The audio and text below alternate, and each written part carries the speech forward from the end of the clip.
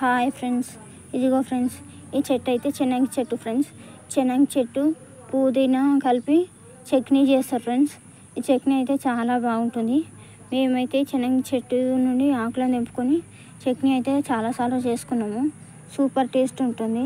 జ్వరం వచ్చిన వాళ్ళకైతే ఈ చట్నీ చేసిస్తే వాళ్ళు మంచిగా అన్నం అయితే తింటారు.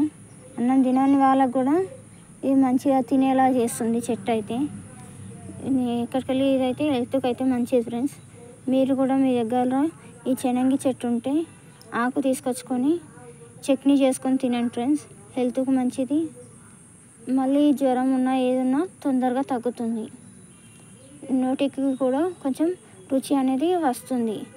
జ్వరం వచ్చిన వాళ్ళకు అన్నం తినబుద్ధి కాదు కదా. ఈ చట్నీతోనైతే అన్నం మంచిగా తింటారు. Bye friends. Bye bye.